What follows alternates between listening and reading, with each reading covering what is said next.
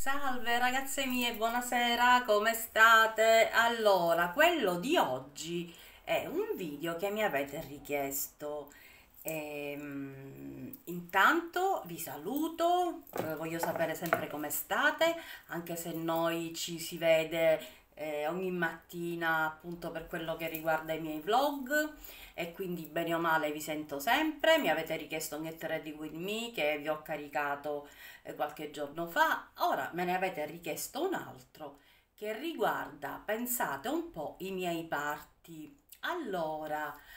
eh, questo è un tasto dolente perché il mio primo parto è stato un disastro perché intanto eh, mamme all'ascolto sappiamo che il primo parto è come si dice un incontro al buio, sappiamo che dovremo andare a soffrire, eh, però non sappiamo l'intensità della, dell'appunto della sofferenza che dovremo provare. Eh, e quindi appunto io davvero non mi aspettavo una cosa del genere, però c'è da dire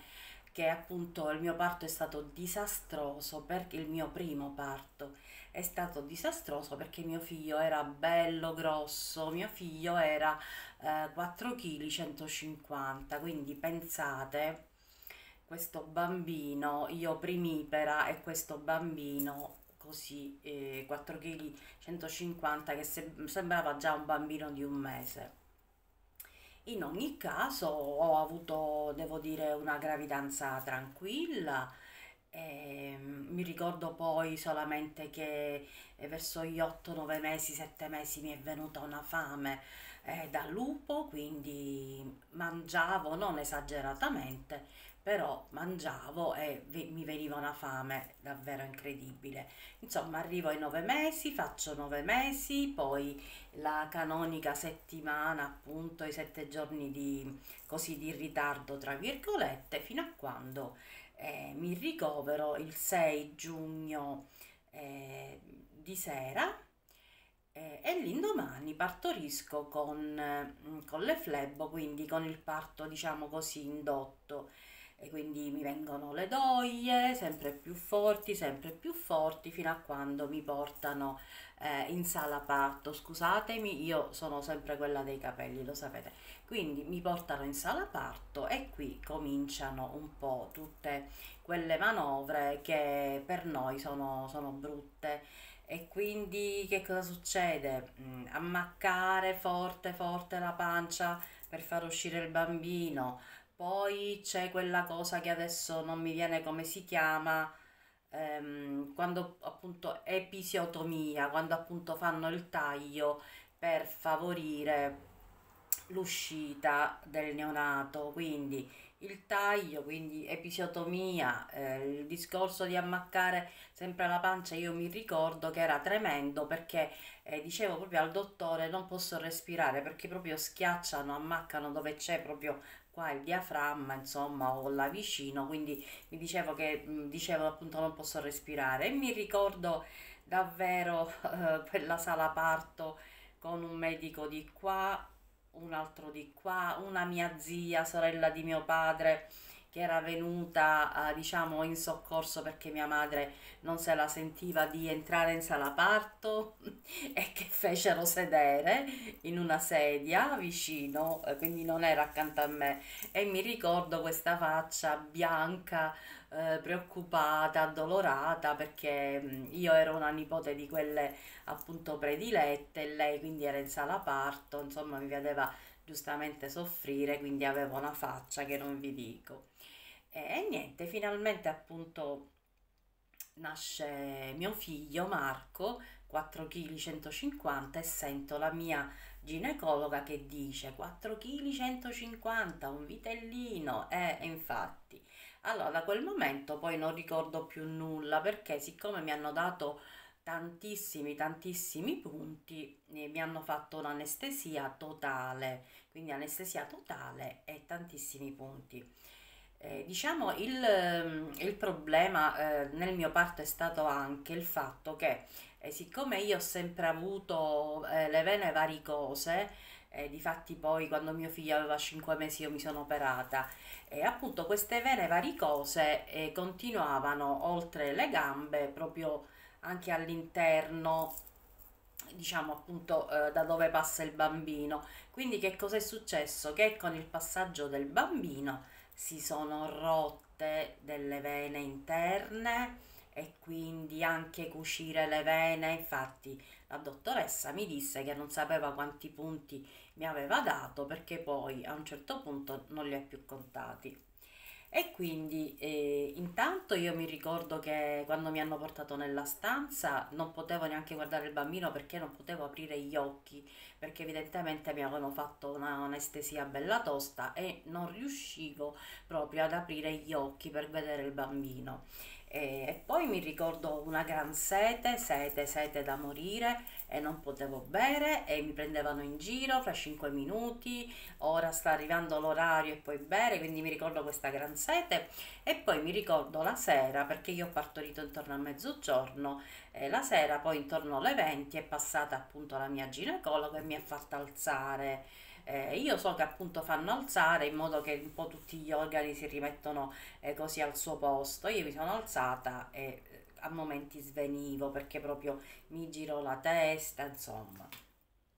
Che cosa è successo? Che mh, mm, naturalmente il bambino stava bene, io non avevo nessun problema in particolare, oltre appunto aver avuto tutti questi punti, no, e poi una cosa che quasi tutte le partorienti abbiamo, le emorroidi, perché purtroppo con gli sforzi poi appunto vengono le emorroidi. Quindi a parte le emorroidi, io poi ho avuto un post operatorio, no un post operatorio, un post parto molto lungo, non riuscivo a riprendermi perché mi sentivo debole quando mi abbassavo, vedevo le luccioline eh, perché avevo perso molto sangue, infatti prendevo un sacco di farmaci. Mia madre, poveretta, non so come facesse a darmi tutti quei farmaci a ricordarseli, poi nel frattempo badava al neonato perché io ero proprio annullata completamente.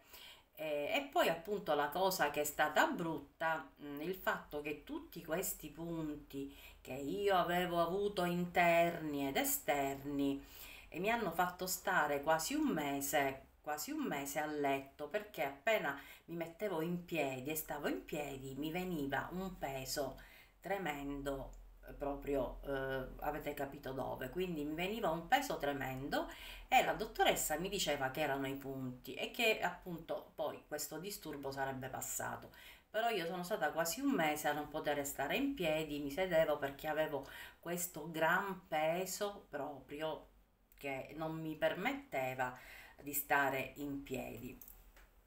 Comunque diciamo che eh, è andata è andata quando sono rimasta incinta la seconda volta di Alessia, quando io ho preso il test mi sono messa a piangere perché avevo il terrore poi di partorire nuovamente, proprio mi sono messa a piangere. Eh, però memore del primo parto che era stato così eh, disastroso eh, perché appunto il bambino era molto grosso, a quel punto io spaventandomi ho sempre mangiato poco, specialmente negli, ultimi, negli ultimi mesi, ricordo sempre che la sera mangiavo insalata di lattuga, pomodoro, eh, fette biscottate, proprio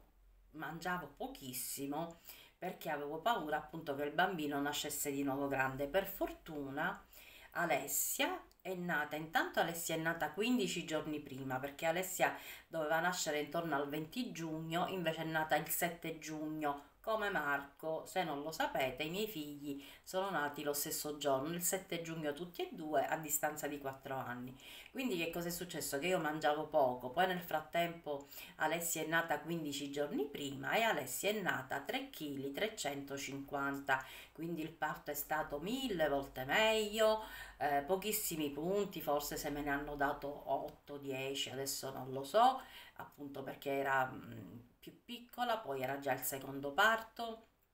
e quindi eh, io mi ricordo che poi appunto dopo due giorni uscì dalla clinica e stiedi poi a letto, che so, mi posso dire come una settimana, insomma dopo 9-10 giorni ero già, come dire, eh, attiva, in piedi, che appunto badavo alla bambina, eh, per quello che potevo fare badavo anche alla casa, insomma mi sono ripresa molto molto molto prima e molto meglio.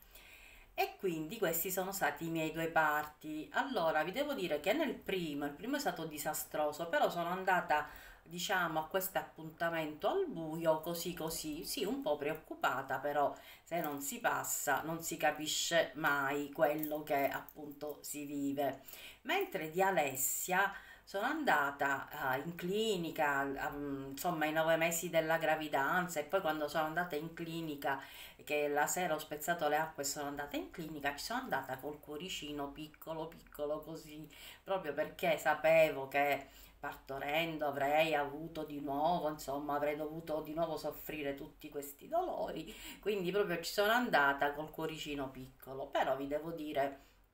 appunto che è andata molto meglio, poi tra l'altro per i punti eh, mi hanno fatto sempre un'anestesia, però devo dire un pochino più leggera. E quindi diciamo che il secondo parto è andato molto meglio. E poi mh, mm, non se ne parlò più appunto di fare altri figli anche perché due va bene così un maschio e una femmina poi mia figlia Alessia eh, nei primi anni mi ha fatto fare nottate, la notte non dormiva, quindi io ero davvero davvero stanca. E poi tra l'altro sempre per questo problema di varici, eh, sia il mio la mia ginecologa, sia l'angiologo che è appunto il chirurgo che mi ha operato quando Marco aveva solamente 5 mesi, mi dicevano appunto signora non faccia più figli perché appunto avevo questa eh, situazione un po' disastrosa che riguardava appunto eh, queste vene varicose e quindi signora non faccia più figli. Io non le volevo fare figuratevi. Tant'è che poi quando eh, i miei figli avevano 8 Marco e 4 Alessia perché appunto vi ripeto si toglievano 4 anni esatti esatti io ho cominciato subito a girarmi per andare a lavorare perché una volta che Marco andava eh, in terza elementare a 8 anni, Alessia aveva 4 anni ed era mh, diventata un pochino più buona, io ho cercato subito appunto eh, di ricominciare a lavorare. E niente eh, e quindi questi sono stati eh, ragazze i miei parti, ormai eh, c'è l'epidurale, non si soffre più in quella maniera perché con l'epidurale appunto non si sente quasi niente, cioè si sente poco, dai, non diciamo quasi niente. Io poi l'epidurale l'ho avuta fatta quando eh, mi hanno tolto l'utero. Se cercate nei miei video menopausa chirurgica, la mia esperienza, il titolo è questo, eh, appunto vi parlo di quando ho avuto ehm, asportato l'utero perché perché avevo il prolasso, quindi l'utero rovinato, abbassato proprio in seguito al primo parto che era stato disastroso. Quindi considerate che ancora a 50 anni io non ero in menopausa e ci sono arrivata appunto perché mi hanno asportato l'utero. E quindi se volete sapere appunto anche di questa operazione mm, in cui mi sono trovata benissimo, mi hanno fatto l'epidurale, devo dire veramente ne parlo sempre benissimo appunto potete andare indietro oppure andate su YouTube e dove c'è la lente di ingrandimento cliccate e scrivete il titolo menopausa chirurgica la mia esperienza e vi spunta il mio video.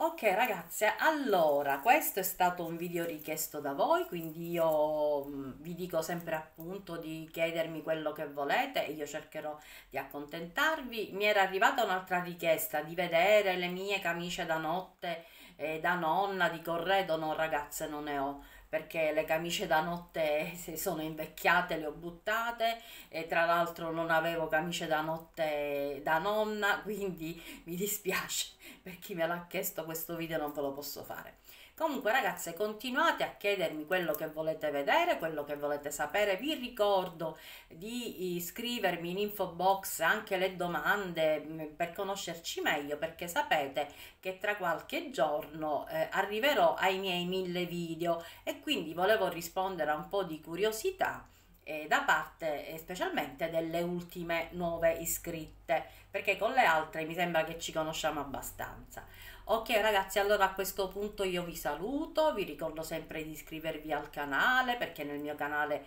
troverete una varietà di video, on decor, ricette, composizioni di fiori, mise en place, e video di pulizie, quindi iscrivetevi sicuro, mettete un like se i miei video vi piacciono e noi ci vediamo sempre al mattino con i vlog quotidiani e io vi mando un bacio e sempre tanta positività.